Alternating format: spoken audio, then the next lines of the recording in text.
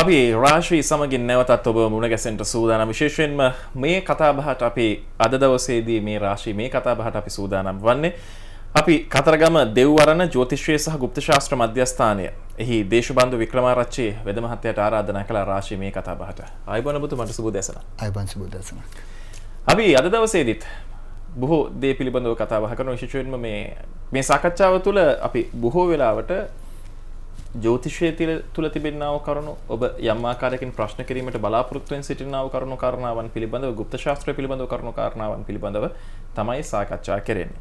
මම කැමති වෙද මහත්තය අද දවස අපි මුලින්ම ප්‍රශ්නය තෝරගන්න මේක මේ අපි සෞභාග්‍ය තෙල් පහන් තෙල් වලින්ම පටන්ගම අද දවසෙත් අපේ සාකච්ඡාව. මට කියන්න මේ සෞභාග්‍යයා පහන් තෙල් ඇත්තරම සෞභාග්‍ය උදා කරනවාද? ඇත්තටම පවිට්‍ර මේක සෞභාග්‍ය සංකේත කිව්වොත් හරි ඒක හේතුව මේ සෞභාග්‍ය පහන් තෙල් හරි විදිහට පත්තු කරනවා. මොකද මේක සාමාන්‍යයෙන් වෙනත් පොල් තෙල් වගේ නෙමෙයි. මොකද මේක සාමාන්‍ය තෙලකට වඩා එහා ගිය තෙලක්. දෙවියන්ගේ ආකර්ෂණය දෙවියන් ආසම තෙල් වර්ග රසක්. ඒ කියන්නේ එළඟි තෙල්, තල තෙල්, අබ තෙල්, තැඹිලි තෙල්, එඬරු තෙල්, කොහොඹ තෙල් වගේ මී තෙල් කියන දෙවියන් ආකර්ෂණය කරගන්න තෙල් වර්ග හතක්. එකට එකතු වෙලා ඊළඟට ඉපැරණි පුස්කොළ පොත්වල තියෙන මන්ත්‍ර වලින් පාන පිටවල තියෙන පවිත්‍ර. මේක මම විසින්ම සිද්ධ කරන දෙයක් නිසා මම දන්නවා 100%ක් මේක හරි විදිහට කරන විත්තිය. ඉතින් ඒ තෙල් එකෙන් පහනක් පත්තු කරනවා කියන්නේ ගෙදර පොල් තෙල් කාලෙක මිලිලීටර් 30 බෝතලයක් තියෙන. මේක පොල් තෙල් කාලයකට කලවම් කරලා තමයි පහන් පත්තු වෙන්න ඕනේ. මේ පහන පත්තු වුණාට පස්සේ පවිට අනිවාර්යයෙන්ම සෞභාග්‍ය ගෙදරට එන එක නවත්තන්න කාටවත් බෑ.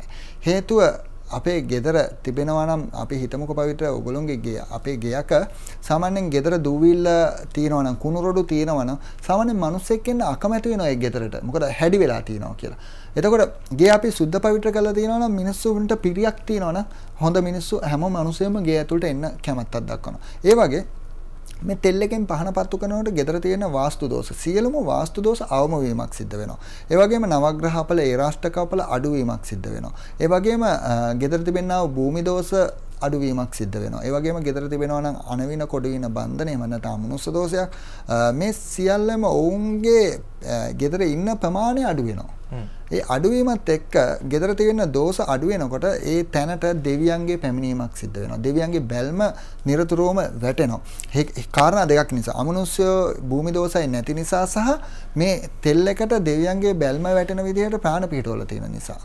එතකොට සුවිශේෂ තෙල් වර්ග හතක් එකට එකතු වෙච්ච නිසා මේකට නිරතුරුවම දෙවියන්ගේ බැල්ම වැටෙනවා. මේ දෙවියන්ගේ බැල්ම වැටීමත් එක්ක පවිත්‍ර gedara තිබෙනා වූ හැම කරදරයක්ම අඩුවීමක් සිද්ධ වෙනවා. සම්පූර්ණයෙන්ම නැති වෙනව නෙමේ අඩුවීමක් සිද්ධ වෙනවා.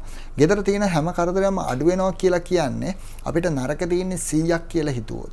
මේකෙන් 50ක් අඩු වෙනවා කියන්නේත් අපිට සැනසීමක්. මොකද සමහරක් වෙලාවට අපිට ගෙදරට ආරක්ෂාවක් කරගන්න බැරි තත්ත්වයක ඉන්න පුළුවන් ආර්ථික වශයෙන් වැටිලා. එහෙම නැත්නම් අපිට බෝධි පූජාවල් තියන්න යන්න, එහෙම නැත්නම් වෙනත් දේවල් වලට යන්න අපහසුතාවයකින් අපි පෙළනවා වෙන්න පුළුවන්. අන්න ඒ වෙලාවට මේ තෙල් එක බොහොම වැදගත් වෙනවා. මොකද අපිට ආර්ථික වශයෙන් ඔලුව උස්ස ගන්න පාර පෙන්නන තෙල් එකක් විදිහට මේ තෙල් එක ගන්න පුළුවන් පවිත්‍ර.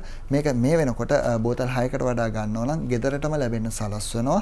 ඒ වගේම ලංකාවේ බොහෝ ප්‍රදේශවල ප්‍රධාන නගරවල වෙළඳසල් වලත් මේ තෙල් එක මිල්දී ගන්න හැකියාවක් තියෙනවා. පුංචි මිලක් වෙන්නේ. නමුත් ලැබෙන ප්‍රතිඵලය අති මහත්. හොඳ ඉතින් අපිට අපි ඔබට දුරකථන අංක සිහිපත් කරනම් 0777යි 328යි 350 0777යි 328යි 350 කියන දුරකථන අංක හරහා ඔබට පුළුවන් සෞභාග්‍ය පහන් තෙල් ඔබේ නිවසටම ගෙන්වා ගන්නට ඒ පිළිබඳව විමසීම් කරන්නට හැකියාවක් තියෙනවා කියන දුරකථන කාරණා ඔබට සිහිපත් කරන්නට ඕනේ. විවාහය ජීවිතයේ අපි කාගෙත් යම් ආකාරයක යම් දිනයක තිබුණ සුන්දර සිහිනය. ඒ සුන්දර සිහිනය වර්තමානයේදී සමහරක් විට ඔබ දුටු සුන්දර සිහිනය නෙමේ සැබෑ යථාර්ථ ජීවිතයේදී දැන් අත්විඳින්නේ. සමහරක් දෙනා. සමහරක් විට ඔබ මේ දුටු සිහිනය තවමත් දකිමින් ඉන්නවා. අන්න ඒ වගේ වෙලාවකට අපි හිතපු තරම් විවාහ ජීවිතේ සුන්දර නොවුනහම සමහරක් වෙලාවට කියනවා සමහරක් දෙනා හඳහන් බලලා නෙමේද කසාද බැන්දේ. එතකොට හඳහන් ගැලපුණේ නැද්ද? සමහරක් විට ඔබට හිතෙනවා වෙන්න පුළුවන් අපේ හඳහන් ගැලපුණ නැහැ. එහෙම නොගැලපුණ හින්දා මං හිතන්නේ මේ ප්‍රශ්න වෙන්නේ නැති කියලා හිතනවා වෙන්නටත් පුළුවන්. වෙද මහත්තයා සාර්ථක විවාහ ජීවිතයකට හඳහන් ගලපන්නට උවමනායිද මේක අනිවාර්ය කාරණාවක්ද? ඇත්තටම ඔව් පවිත්‍ර. මොකද හේතුව තමයි ඔබ දන්නවා ඇති සමහරක් වෙලාවට ප්‍රේම සම්බන්ධතා වලින් විවාහ සිද්ධ වෙනවා. සමහරක් වෙලාවට යෝජනා වලින් විවාහ සිද්ධ වෙනවා. ඒ ඒ ප්‍රේම සම්බන්ධතාවයක් තියෙනකොට ගොඩක් අය හිතන දෙයක් තමයි අපි හඳහන් ගලපන්න ඕනේ අවශ්‍යතාවයක් නැහැ අපි අනිවාර්යෙන් කසාද බඳිනවා. ඔබ බලන්න මාගාවට එන අය වගේම ඔබ සමාජයේ පොඩ්ඩක් හොයලා බලන්න මේ ප්‍රේම සම්බන්ධතාව වලින් විවාහ වෙන අයගෙන් කීයෙන් කී දෙනෙක් විවාහයෙන් පස්සේ කොතරම් ගැටලුවලට මුහුණ දෙනවද කියලා. නොයෙකුත් විදිහේ ආරවුල් වලට ලක් වෙනවා. මොකද අපි කියන දෙයක් තමයි ආදරේ තියෙනවා නම් හැමදේම පුළුවන් කියලා. නමුත් ඇත්තම කතාවකොත් විවාහයෙන් පස්සේ ඇත්තටම මේ ආදරේ කන්න බෑ. ආදරෙන් ජීවත් වෙන්න අමාරු වෙනවා. ජීවත් වෙන්න නම් මුදල් අවශ්‍ය වෙනවා. ජීවත් වෙන්න නම් ඒ එකඟතාවයක් පොදු එකඟතාවයකට පවුලක් තුල තියෙන්න ඕනේ. මොකද දරුවෙක් දෙන්නෙක් හම්බ වෙනකොට පවිත්‍ර අර ආර්ථික ගැටලු එනකොට පස්ස දොරෙන් ආදරය කියන එක පිටමං වෙනවා. එතකොට ඉස්සරහ දොර තියෙන ආර්ථික ප්‍රශ්න පිටිපස්සෙන් ආදරේ යනවා. අන්න ඔතකොට තමයි පවුලක ගැටලු ඇති වෙන්නේ. එතකොට අපි හඳහනක් හරි විදියට බැලුවොත් පවිට පොරොන්දම් හරි විදියට බැලුවොත් එහෙම විශේෂයෙන්ම හඳහනේදී අපිට දැනගන්න පුළුවන් වෙනවා මේ අය අනාගතේ කොහොමද ජීවත් වෙන්නේ කියන එක. එතකොට ඒ සමබර වෙන්න ඕනේ. ඒ කියන්නේ අපි කියමුකෝ එක්කෙනෙක්ගේ හඳහනක තියෙනවා බිරිඳගේ හඳහනේ තියෙනවා. ඒ කියන්නේ ස්ත්‍රියගේ හඳහනේ තියෙනවා. ඉස්සරහට ගොඩක් වෙලාවට කේන්ති යන දුක් විඳින ඒ වගේම ආර්ථික වශයෙන් විශාල කඩාවැටීමක් තියෙන කෙනෙක් කියලා. තව පුරුෂයාගේ හඳහනේ තියෙන්න පුළුවන් ආර්ථික වශයෙන් විශාල දියුණුවක් උන්නතියක් තියෙන කෙනෙක් විදිහට. එයාට එයාටත් කේන්ති යනවා කියලා අපි හිතමුකෝ. එතකොට මේ කේන්ති යන දෙන්නෙක් එක වහලක් යටට ආවොත් පවිත්‍ර හිතනවද ඔවුන් දෙදෙනා රණ්ඩුවක් පටන් ගත්තොත් නවතී කියලා. මොකද හේතුව ඔවුන් දෙදෙනාගේ දිගටම ඒ ආරවුල් ගැටලු දිගටම පවතිනවා. මොකද එක්කෙනෙක්වත් නිවෙන්න කැමති නැහැ. දෙන්නම උත්සාහ කරන්නේ හැමතිස්සෙම ඇවිලෙන්න. ඒකට හඳහනක් හරි විදියට බැලුවොත් පවිට පොරොන්දම් හරි විදියට ගැලපුවොත් අනිවාර්යයෙන්ම ඔවුන් දෙදෙනා නිවිච්ච දෙන්නේ එහෙම නැත්නම් වෙනත් විදිහකින් එකට ඉන්න පුළුවන්ද කියන එක අපිට බලා ගන්න පුළුවන්කම ලැබෙනවා. මොකද දසාවල් ටික අපි හරි විදිහට බැලුවොත් පවිත්‍ර ඒ දසාවකද එක්කෙනෙකුට නරකක දසාවක් ලැබුණා අනිත් එක්කෙනාට හඳහන් ගැලපෙනවා නම් එක්කෙනෙක්ට නරක වෙනකොට අනිත් එක්කෙනාට හොඳ දසාවක් ලැබලා තියෙනවා. එතකොට මේ තුල අර දෙන්නටම කන්න නැති කාලයක් යන්න තියෙන ඉඩකඩ අඩුයි. ඒකට එක්කෙනෙක්ට හරි කන්න ලැබෙන කාලයක් තියෙනවා. ඒකට එක්කෙනෙක්ට කන්න ලැබෙනවා නම් අනිත් එක්කෙනාට ඉබේම එයාගේ හරහා මොකද ආදරේ තියෙනවා. මොකද හඳහන් ගැලපෙනවා කියන්නේ ඔවුන් අතර ආදරේ තියෙනවා. ඒ ආදරේ තුලින් අනිත් එක්කෙනාට කන්න දෙනවා. නොකා ඉන්න දෙන්නේ නැහැ. හොරෙන් බිරිඳ සැමියාට හොරෙන් කන්නේ නැහැ. සැමියා බිරිඳට හොරෙන් කන්නේ නැහැ. හඳහන් හරි විදියට ගැලපුණොත්. දෙදෙනාම හරි විදියට කනවා. ඒ වගේම අසනීපයක් හැදුනාම පවිත්‍ර. හඳහන් ගැලපුණොත් විතරයි ඒ ගැලපිච්ච කෙනා හඳහන් අසනීපකදී ඔහු බලන්නේ. එතකොට අනිත් කෙනා බලන්නේ නැතුව ඉන්න ඔබ දැකලා ඇති සමහරක් වෙලාවට සැමියා රාත්‍රියේ විනෝද ගමන් යනවා. නමුත් බිරිඳ තනියම ගෙදරට වෙලා හූල් හූල් ඉන්නවා. මේකත් හඳහන් නොගැලපීම තුල ඇති වෙන්නේ. ඉතින් හඳහන් හරි විදියට ගැලපුණොත් අපිට හැකියාවක් ලැබෙනවා කසාද ජීවිතේ සාර්ථකව ඉස්සරහට ගෙනියන්න. යාළු වෙලා බැන්දත් යෝජනාවකින් බැන්දත් අනිවාර්යෙන් හඳහන් ගැලපීම අනිවාර්යයි පවිත්‍ර.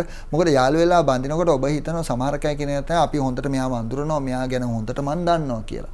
නමුත් යාළු වෙලා ඉන්නකොට ඔබ කල්පනා කරලා බලන්න පවිත්‍ර ගොඩක් අය කියන තමයි කරන දෙයක් තමයි තමන්ගේ ප්‍රේමවන්තයාට එහෙම නැත්නම් ප්‍රේමවන්තයට ගොඩක් බොරු කියනවා.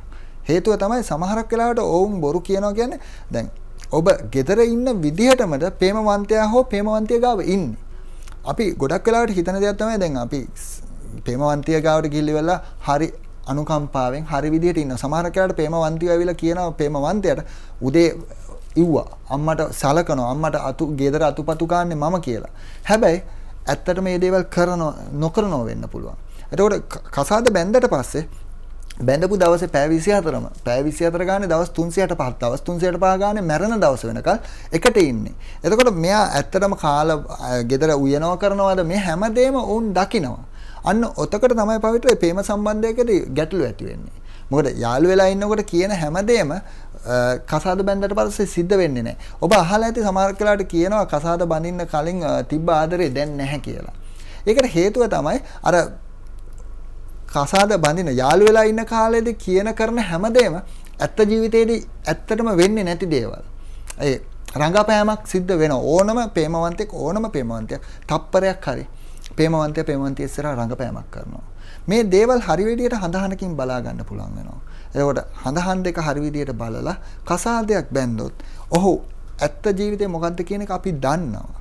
ඒ ඇත්ත ජීවිතේ අපි දන්නවනම් අපිට ඔහුත් එක්ක ජීවත් වෙන්න දවසක් නෙමෙයි ජීවිත කාලෙම පුළුවන්කම ලැබෙනවා. අද මේ දේවල් හරි විදියට බලන්නේ නැති හින්දා තමයි පවිත්‍ර උසාවි ඇරෙන්න වැඩි වෙලා තියෙන්නේ. අද වෙනකොට උසාවියකට ගිහිල්ලා බැලුවොත් වැඩිපුරම තියෙන්නේ දික්කසාද නඩු. මේ දික්කසාද නඩු වැඩි වෙන්න හේතුව තමයි මේ හඳහන් හරි විදිහට ගලපන්නේ නැති එක. ඔබ බලන්න අතීතයේ දිහාට ගියොත් එම අතීතයේ සියලුම විවාහ වෙන්නේ 99%ක්ම විවාහ සිද්ධ වුණේ හඳහන් ගලපවල. කොතරම් ප්‍රේම සම්බන්ධතා තිබ්බත් හඳහන ගැලපීමක් සිද්ධ කරා. ඒකට සමහරක් වෙලාවට ඔබ කියන්න පුළුවන් දැනුත් හඳහන් නොගලපපු අයත් සමහරක් වෙලාවට කසාද හොඳින් තියනවා කියලා. මං අනිවාර්යයෙන්ම කියනවා ඔවුන්ගේ හඳහන් දෙක බලන්න පොරොන්දම් බලන්න හඳහන් බලන්න නැතුව කසාද බැඳලා ඔබ හොඳින් පෞල් ජීවිතේ ගත කරනවා නම් ගිහිල්ලා හඳහන නිවැරදි ජ්‍යොතිෂවේදියෙක් ලව්ව බලවන්න හඳහන් දෙක අනිවාර්යයෙන්ම ගැළපීලා තියෙනවා. හඳහන් දෙක ගැළපුණොත් විතරයි කසාද ජීවිතේ හොඳින් ගත කරන්න පුළුවන්කම ලැබෙන්නේ. එහෙම නැති වුණොත් කසාද ජීවිතේ නිවැරදිව හරි විදිහට හොඳින් ගත කරන්න බැරි වෙනවා. ඒක නිසා පවිට අනිවාර්යයෙන්ම හඳහන් ගැළපීමත් පොරොන්දම් ගැළපීමත් සිද්ධ කළ යුතුමයි විවාහයකට පෙර. හොඳයි අපි දුරකතනංකත් ඔබට සිහිපත් කරන්න කතරගම දෙව්වරණ ජෝතිශ්‍රය සහ ගුප්ත ශාස්ත්‍ර මධ්‍යස්ථානය. ඔබට මේ කතරගම දෙව්වරණ සඳහා යන්නට පුළුවන් හෝමාගම රොහල ආසන්නේ පිහිටලා තියෙන ඉතා ඉක්මනින් ඔබට හඳුනා ගන්න පුළුවන් කමක් තියෙනවා. ඉතින් ඒ වගේම තමයි විශේෂයෙන්ම ඔබට හැකියාවක් තිබෙනවා කතරගම දෙව්වරණ ජ්‍යොතිෂය සහ ගුප්ත ශාස්ත්‍ර මධ්‍යස්ථානයේ මාධ්‍යස්ථානයේදී සියලුම ජ්‍යොතිෂය සහ ගුප්ත ශාස්ත්‍රීය කටයුතු සිදු කරවා ගන්නට දුරකථන අංකය 0777යි 328යි 350 0777යි 328යි 350 කියන දුරකථන අංකය තමයි ඔබ භාවිතා කළ යුතු වන්නේ. වෙද මහත්තයා දැන් අපි මේ හඳහන පිළිබඳව කතා බහ කරමින් හිටිය විවාහය කියන කාරණාවත් එක්ක දැන් සාමාන්‍යයෙන් හඳහනටම ජීවිතය කැප කරන්නට සමහරක් දෙනා කැමති නැහැ. මොකද අපි දන්නවා මේ සමහරක් දෙනා හඳහනට අභියෝග කරන්නට බලාපොරොත්තුවෙන් ඉන්නවා. කියන්නේ හඳහනි මොන දේ තිබුණත් උත්සාහ කළොත් ඕනම දෙයක් කරන්න පුළුවන්. ඔබතුමා දරන අදහස මොකක්ද? පවිත්‍ර ඕනම මනුස්සයෙක්ගේ දියුණුවට උත්සාහය උනන්දුව කැපීම අධිෂ්ඨානයේ ධෛර්යය කියන මේ කාරණා ටික ඕනේ. හැබැයි මේ උත්සාහය උනන්දුව කැපීම අධිෂ්ඨානයේ ධෛර්ය විතරක් තිබිලා මනුස්සයෙක්ට සාර්ථක වෙන්න බෑ. වාසනාව කියන එකත් චුට්ටක් තියෙන්න ඕනේ. මොකද තේ එකක් රහ වෙන්නේ පවිත්‍ර තේකට සීනි ටිකකුත් වැටුනහමනේ. පිටි ටික හරි ගානට තිබිලා තේ කොළ ටික තේ හරි වැඩියට වැටුණා කියලා. රස්නේ හරි විදියට තිබ්බා කියලා වෙලා තේ එකක් රහ වෙන්නේ නැහැ. තේකට සීනි ටිකක් වැටෙන්න ඕනේ. ඒ වගේම උත්සාහය උනන්දුව කැපීම අධිෂ්ඨානයේ ධෛර්ය කියන ටික තිබ්බත් අපිට වාසනාව කියන එක නැත්තම් අපිට සාර්ථක වෙන්න බෑ. ඔබ දැකලා ඇති සමහරක් මිනිස්සු ඉන්නවා අනන්ත අප්‍රමාණව මහන්සි වෙනවා. හැබැයි ඔවුන් සාර්ථකත්වයට පත් වෙලා ඔවුන් දියුණුවට පත් වෙලා නැහැ. ඔබ දැකලා ඇති සමහරක් වෙලාවට මිනිස්සු ඉන්නවා කිසිම වෑයමකින් තොරව දියුණුවට පත් වෙනවා. මේ ඔවුන්ට වාසනාව තියෙන උත්සාහ උනන්දු කැපීම ස්ථානය කියන දේවල් නැහැ. නමුත් ඔවුන් දෙදෙනාගේම පැවැත්ම දුර්වලයි. මොකද හේතුව මහන්සි වුණ පළියට සාර්ථකත්වයට පත් වෙන්න බෑ වාසනාව නැතුනොත්. ඉතින් මේ හඳහනක් ඇතුලේ තියෙන පවිත්‍ර මේ වාසනාව කොහොමද අපිට පළ දෙන්නේ කියන එක. එතකොට අපි හරි විදියට හඳහනක් බැලුවට පස්සේ අපිට පුළුවන්කම ලැබෙනවා අපේ වාසනාවන්ත කාලය මොකද්ද? එහෙම නැත්නම් මේ වෙලාවේ හරියන්නේ නැති කාලයකද ඉන්න කියලා ඉවරලා අපිට දැනගන්න. එතකොට මේකට හරි විදියට හඳහනට පිළියම් කරොත් අපේ වාසනාව නැති දවසක් නැහැ කියලා කිව්වොත් නිවැරදි. මොකද වාසනාව කියලා කියන්නේ අපේ පින. පින පළ දෙන්න ඕනේ අපි දිනු වෙන්න නම්. මොකද ඔබ දැකලා ඇති සමහරක් මිනිස්සු ඉන්නවා අනන්ත අපමානව රැකියා කරන අයත් ඉන්නවා. ගොඩක් මහන්සි වෙලා වැඩ කරනවා. හැබැයි කවදාවත් ආයතන ප්‍රදානය උසස් වීමක් දෙන්නේ නැහැ. එහෙම නැත්නම් සමහරක් වෙලාවට හැමදාම මහන්සි වෙලා පැය 24ම ආයතන වෙනුවෙන් කැප වෙලා වැඩ කරනවා. හැබැයි කවදාවත් ඔහුගේ පඩි වැඩිවීමක් සිද්ධ වෙන්නේ නැති වෙන්න පුළුවන්. මේ දේවල් වලට හේතුව තමයි වාසනාව කියන එක නැති නිසා තමයි ඔහුට ඒ දේ ලැබෙන්නේ නැත්තේ. ඉතින් ඒක නිසා අනිවාර්යයෙන්ම වාසනාව හඳහන බලලි වල හරි විදියට පිළියම් කරොත් මහන්සිය තරමට වඩා මහන්සි වෙන්නේ 100ක් නම් 200ක ප්‍රතිඵලයක් අපිට ගන්න පුළුවන්කම ලැබෙනවා හඳහනට හරි විදියට පිළියම් කරොත්. හඳහනේ තියෙන කර්මය කියන එක අවාසනාව කියන එක නැති කරගත්තොත් වාසනාව පින පළ දෙන කාලය ඇති කරගත්තොත් අපේ ඕනම රැකියාව ස්ථානයක රැකියාවක් කරන කෙනෙක් වෙන්න පුළුවන්. එහෙම නැත්නම් වෙනත් දෙයක් වෙන්න පුළුවන්. ඔහුට පුළුවන්කම ලැබෙනවා දියුණුව කරා යන්න. කිසිම මිනිස්සෙකුට පයින් යන්න තරම් අවාසනාවන්ත මිනිස්සුයෝ නැහැ. ඕනම මිනිස්සෙකුට පුළුවන් වාහනයක් ගන්න තත්ත්වයටපත් වෙන්න. ඕනම මිනිස්සෙකුට පුළුවන් ව්‍යාපාරයකින් ලොකු දියුණුවක් ලබා ගන්න. Tamange යටතේ සේවකයෝ ඉන්න තත්ත්වයටපත් කරගන්න. හැබැයි ඔවුන්ට නොහැකි වෙලා තියෙන්නේ ඔවුන්ගේ වාසනාව කියන එක නැති නිසා. ඒ වාසනාව උදා කරගත්තොත් ඕනම මිනිස්සෙකුට තමන්ගේ යටතේ සේවකයෝ තියාගන්න එහෙම නැත්නම් Tamanටම කියලා වාහනයක් ගන්න Tamanටම කියලා ගෙයක් දොරක් හදාගන්න පුළුවන්කමක් ලැබෙනවා. හරි විදියට හඳහන බලලා පිළියම් කරලා Tamanගේ උත්සාහය උනන්දුව කැපීම අදිස්ථානයේ ධෛර්යය කියන එක ජීවිතයට එකතු කරගත්තොත් ජීවිතේ නැගිටින එක නවත්තන්න අමාරුයි පවිත්‍ර. මොකද අපි මහන්සි වෙලා ලබන්නේ 100ක ආදායමක් නම් හඳහන බල්ල පිළියම් කරගත්තොත් ඒ මහන්සියේ තරම අපි ඒ විදිහටම මහන්සි වුණොත් අපිට 200ක ආදායමක් ලබන්න පුළුවන්කමක් ලැබෙනවා. ඔව් දැන් සාමාන්‍යයෙන් අපි දැන් හඳහන කියන කාරණාව ගැන සාකච්ඡා කරද්දී හඳහන හඳහනින් සිද්ධ කරන්නේ වෙද මහත්තයා කර්මය පැන්නීමක්ද කර්මය දිය කිරීමක්ද? අංක එක තමයි හඳහනකින් සිද්ධ කරන්න පවිටර අපිට දැනගන්න පුළුවන්කමක් ලැබෙන්නේ. අපේ ජීවිතය අපේ අප ජෝතර ජෝතිර්වේද නිදර ඔබතුමන්ල කරන්න මේ කර්මය කෙනෙකුගේ කර්මය පැන්නවීමක්දේ සිදනක්න ඒක යම්මාකාරයක ගෙවාදමීමක් ඕ පවිට ඒක දෙක දෙවිදිහම කරන්න පුළා එක තමයි අපි කර්මයට අදාල බෝධි පූජාවල් කරන එහමනත කර්මයට අදාල පින් කටයුතු. අපි ඒ දේවල් හරිවිදිහට කරොත්තෙම අපිට කර්මය නැති කරගන්න පුළුවන් එතකොට කර්මය අහෝසි කරගන්න පුළුවන්. ඒ තුලින් අපිට ජීවිතය සාර්ථක කරගන්න පුළුවන්කම තවත් කොට්ටාසයක් ඉන්නවා මේ බෝධි පූජාල් තියන්න. මොකද කාර්ය විදියට බෝධි පූජාවක් තියනවා කියන පවිත්‍ර ලේසි නෑ. මොකද අපි ජීවිතය ජීවිතයේ වයස අවුරුදු 70කින් මැරෙනවා කියලා උදාහරණයක් විදිහට මේ අවුරුදු 70ම අපි සැපයි දුකයි දෙකම එක විදිහට විඳිනවා. එතකොට අපි කර්මය කියලා දකින්නේ කවදාවත් ඔබවත් මමවත් දකින්නේ නැහැ කර්මය විදියට ලැබෙනා වූ සැප අපි දකින්නේ දුක තමයි හැමතිස්සෙම මේ කර්මය විදියට.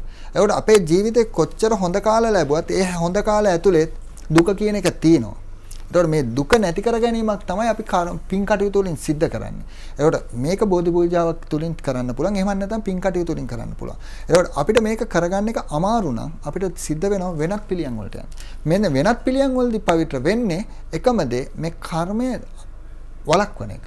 නැති වෙන්නේ නැහැ. කර්මය ඒ විදිහටම තියෙනවා. කවදා හරි අපි කරපු පිළියම නැති වෙච්ච දවසට නැවත වරක් අර තිබ්බ දුක එහෙම නැත්නම් අපේ විඳවිල්ල නැවත වරක් අපිට ලැබෙනවා. ඒක මේ භවයේදී වෙන්න පුළුවන්, පෙර ඊළඟ භවයේදී වෙන්න පුළුවන්. අපිට විඳවිල්ලක් ලැබෙනවා අනිවාර්යයෙන්ම අපි කර්මය තුල.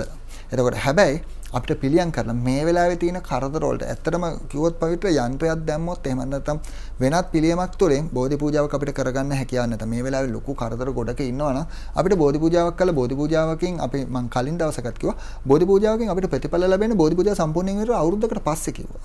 එතකොට ඒකට යම්කිසි කාලයක් යනවා. ඉවසීමක් තියෙනවනේ. එතකොට අපි මේ වෙලාවේ හොඳටම වැටිලා නම් අපිට අවුරුද්දක් බලාගෙන ඉන්න බැරි නම් අපිට සිද්ධ වෙනවා කෙටිකම හොයාගන්න. හරියට අපිට කතරගම යන්න සාමාන්‍ය පාරකත් පුළුවන් හයිවේ එකෙන් යන්න. ඒ වගේ අපි හයිවේ එක තෝරගැනීමක් එහෙම නැත්නම් හදිසි ඉක්මන්කමක් තෝරගන්න. මේ ඉක්මන්කමේ තමයි යන්ත්‍ර වෙන්න පුළුවන්. එහෙම නැත්නම් වෙනත් පුද පූජා සත්කාර වෙන්න පුළුවන්. මේවායින් කරන්නේ පවිත්‍ර කර්මයේ පළදීම වළක්වන එක. කර්මයේ පළදීම වළක්වල ඉවරලා අපේ වාසනාව අනාගතයේ තිබෙනා වූ පින කියන එක වර්තමානයට ගෙනල්ලා අපේ ජීවිතය සාර්ථක කරන එක. ඉතින් සමහරක් වෙලාවට අපිට සිද්ධ වෙනවා කර්මය නැති කරන්නත් සමහරක් වෙලාවට අපිට සිද්ධ වෙනවා කර්මය පස්සට දාගන්නත්. මේ දෙකම අපි ජ්‍යොතිෂ වේදින් විදියට ජ්‍යොතිෂ විද්‍යාව තුළින් බලා ගන්න පුළුවන් කරන්න පුළුවන් කමල් ලැබෙනවා. ඒ කෝක කරත් අවසාන ප්‍රතිඵලය ජීවිතේ සාර්ථක වෙන එක වෙන්නේ. බෝධි අපි වෙනත් පිළියම් වලට ගියත් පවිත්‍ර අනිවාර්යයෙන්ම අපි බෝධි පූජා එහෙම නැත්නම් පින් කටයුතු සිද්ධ කළ යුතුයි හේතුව යම් දවසක අපි අර වෙනත් කරපු පිළියම් නැති වෙච්ච දවසට නැවතවරක් අර කර්මය පළ දෙනවා. ඉතින් අපි ඒ විඳවන්නේ නැති කාලෙදී කාට කාට හරි මොන මොන හරි දුන්නොත් එතනින් එහාට සාර්ථකත්වයට පත් වෙන්න පුළුවන් වෙනවා. හොඳ එහෙමනම් ඉතින් විශේෂයෙන්ම අපි මතක් කරන ජ්‍යොතිෂය සහ ගුප්ත ශාස්ත්‍ර කටයුතු සිදු කර ගන්නට කතරගම දෙව්වර්ණට ඔබට පැමිණෙන්නට පුළුවන්. ඔබ දන්නවා හෝමාගම රෝහල ආසන්නයේ තමයි දැන් කතරගම දෙව්වර්ණ පිහිටලා තියෙන. ඉතින් සියලුම ජ්‍යොතිෂය සහ ගුප්ත ශාස්ත්‍ර කටයුතු සඳහා අපේ දේශබන්ධු වික්‍රමාරච්චි වෙද මහත්මයා මුණ ගැහෙන්නට පුළුවන්. ඒ වගේම තමයි සෞභාග්‍ය පහන් තෙල් ඔබට මිලදී ගැනීම පිළිබඳව විමසීම් කරන්නත් පුළුවන්. වෙද මහත්තය හම්බ වෙන්න දිනයක් සහ වෙලාවක් වෙන් කරවා ගන්නත් මේ සෞභාග්‍ය පහන්තෙල් ඇනවුම් කරන්නත් ඒ පිළිබඳව දැනගන්නත් මේ දුරකථන අංකය භාවිතා කළ යුතුයි. 0777 328 350 0777 350 කියන දුරකථන අංකය. අද දවසේදීත් අපිත් සමගින් රාශි වැඩසටහනට සහභාගී වුණේ ජ්‍යොතිෂ්‍ය විද්‍යා කීර්ති ශ්‍රී ඒ වගේම වාස්තු විද්‍යා ප්‍රසාද අභිමහනී දේශබන්දු වික්‍රමාරච්චි වෙද මහත්මයා. ඔබතුමාට බොහොමත්ම ස්තුතියි. සුබ දවසක්. සුබ දවසක්. අපිට එහෙමනම් අවසර අදට අපේ වැඩසටහනින් සමු ගැනීම සටහන් කරන රාශි තුලින් සමු ගැනීම සටහන් කරන මේ ආකාරයෙන්.